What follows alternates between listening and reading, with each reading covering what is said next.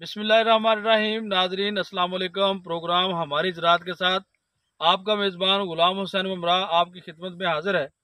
नाजरीन, आज हम मौजूद हैं सिट्रस के एक बाग में, एक फ़ील्ड में, और तरशावा फलों के हवाले से एक बहुत अहम, एक सकिंग पेस्ट है, जिसके बारे में आज हम आपको बताने जा रहे हैं, क्योंकि इस महीने में भी उसका अटैक आता है और उसकी वजूहत के बारे में, उसकी सिम्टम्स के बारे में और उसका नुकसान क्या हो सकता है? उसके बारे में और अल्टीमेटली हम उसको कंट्रोल कैसे कर सकते हैं, उसके बारे में हम बात करेंगे।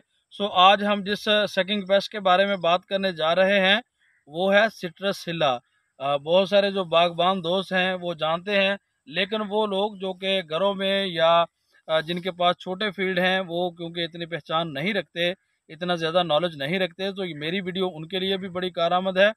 और जो लोग बड़े बागबान हैं जो पहले काश करते हैं, ज़्यादा रकबे हैं उनके पास और आज मेरी वीडियो उनके लिए भी ये फ़ायदा साबित होगी। सो सिट्रसिल्ला की अगर हम बात करें सिट्रसिल्ला जो है एक सेकिंग पेस्ट है, यानी अगर हम झटकी ज़ुबान में कहें तो ये एक रस चूसने वाला कीड़ा है। ये क्या करता है कि पत्ते के ऊपर जो है वो आता है, रस चूसता है और एक तो रस चूसने की वजह से जो पत्ते कमज़ोर होते हैं वो तो होते ही हैं दूसरा इसका जो बहुत ज़्यादा बड़ा नुकसान है, वो ये है कि इसके अंदर से मुँह से सक्रीशंस आती हैं, इस तरह की रतूबत खारिज करता है, जो कि पत्ते के ऊपर लगती है। अगर आप क्लोज करके दिखा सकें कि अगर पत्ता है यहाँ से अगर रस्ट उसा है तो इसके ऊपर जो है वो सकिंग पेस्ट जो है वो क्या करता है कि अपने मुँह से कुछ सक्रीशंस खारिज करता है, जो कि पत्ते के ऊपर आ जाती हैं, पत्ते की सरफेस के ऊपर लग जाती है और उसके बाद क्या होता है कि उसके ऊपर सूटी मोल्ड फंगस आ जाती है। नाजरीन, सूटी मोल्ड फंगस जो है, वो पत्ते की सतह को काला कर देती है, जिसकी वजह से क्लोरोफिल पिगमेंट डिस्टर्ब होता है, सूरज की रोशनी जब नहीं कर पाता, पौधे को खुराक नहीं मिलती, पौधा अल्टीमेटली जो है वो डिज़ीज़ होता है। और उससे होता क्या है कि ये जो अर्ली फ्रूटिंग होती है, वो भी गिर जाती है, पत्ते गिर जाते हैं इसकी वजह से, और अल्टीमेटली नुकसान होता है हमारी फ़सल का, हमारी प्रोडक्शन का। अब बात आती है कि इसका जो है आ, कौन से मौसम में ज़्यादा आता है?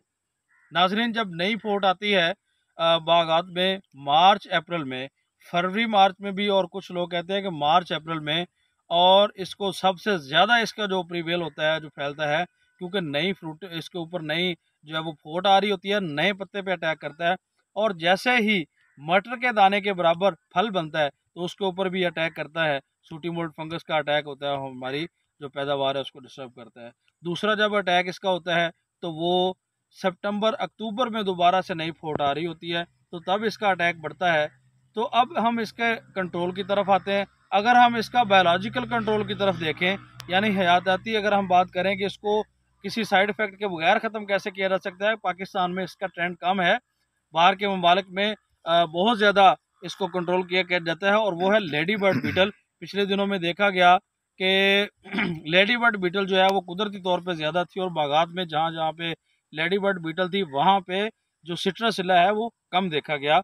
यानी उसकी जो आ, उसकी रिप्रोडक्शन की रेट है वो भी कम हो गई और सिट्रसिला जो है वो ऑलमोस्ट वहाँ से आ, उस नुकसान नहीं कर पाया। अगर हम इसके केमिकल कंट्रोल की बात करते हैं तो इसमें हमें पेस्टिसाइड्स का इस्तेमाल करना पड़ेगा। उसके लिए जो आ, हम रिकमेंड करते हैं वो कहते हैं कि इसको कोई भी एक सिंगल जो है केमिकल कंट्रोल करने में नाकाम है। जैसा कि अगर हम बाईफेंथ्रिन को रिपीट कर दें, वो इसको कंट्रोल नहीं करेगा। हमें बाईफेंथ्रिन के साथ कोई और ऐड करना पड़ेगा। और अगर हम बात करें कि एक ही केमिकल को रिपीट करें, वो भी नहीं कारामद साबित होता। अगर हमने पहला बाईफेंथ्रिन का स्प्रे किया है, अगला फ्लोनिकामेड का करें तो इससे बेहतर कंट्रोल हो सकता है। इसके लिए दो चार और भी ऐसे प्रोडक्ट हैं जो कि मैं डिस्क्रिप्शन में उनको लिख भी दूँगा। बाज़ात जो फार्मर है, हमारे सादा होते हैं, उनको समझ नहीं आती। तो इसका ये होगा केमिकल कंट्रोल एक बात जहन में रखना है कि एक केमिकल को रिपीट नहीं करना, बल्कि केमिकल जो अगला स्प्रे है, वो आपने लाजमी तब्दील करना है। सो अगर आप और एक और जो अहम है, जिसे हम कहते हैं कल्चरल प्रैक्टिस जैसे इस खेत में आप नज़र आ रहे हैं आपको कि जड़ी बूटियाँ बहुत ज़्यादा हैं तो ये भी फ़ील्ड को नुकसान पहुँचाती हैं।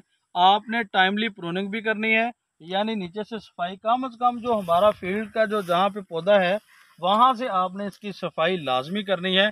इससे भी सिट्रस जो है वो कम हो जाएगा और अल्टीमेटली हमारी प्रोडक्शन कम हो जाएगी। नाजरीन, एक और अहम बात कि सिट्रस सिल्ला जो है, ये मज़ीद क्या करता है कि सिट्रस सिल्ला के आने की वजह से सिट्रस ग्रीनिंग का इफ़ेक्ट बहुत आ जाता है।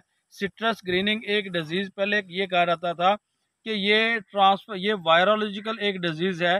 लेकिन बाद में रिसर्च ने बताया कि जो सिट्रस ग्रीनिंग है, वो आर एल लोज होते हैं, यानी रिक्टेजिया लाइक ऑर्गेनिजम्स होते हैं, जिनको वेक्टर के तौर पे काम करता है सिट्रसिल्ला यानी अगर हम कहें कि सिट्रसिल्ला को अगर हम कंट्रोल करेंगे तो सिट्रस ग्रीनिंग को कंट्रोल कर सकते हैं। सिट्रस ग्रीनिंग का एज सच कोई भी केमिकल कंट्रोल उसको करने के लिए नहीं है। इसलिए हमें अगर सिट्रस ग्रीनिंग को कंट्रोल करना है तो सिट्रसिल्ला को कंट्रोल करना पड़ेगा। और अगर सिट्रसिल्ला को कंट्रोल करना है तो हमें कल्चरल कल्चरल प्रैक्टिस की तरफ़ भी आना पड़ेगा और टाइमली प्रूनिंग भी करनी पड़ेगी और केमिकल का इस्तेमाल भी करना पड़ेगा। मजीद वीडियोज़ के लिए जुड़े रहिए प्रोग्राम हमारे ज़रात के साथ। आपका मेज़बान गुलाम हसन ममरा अल्लाह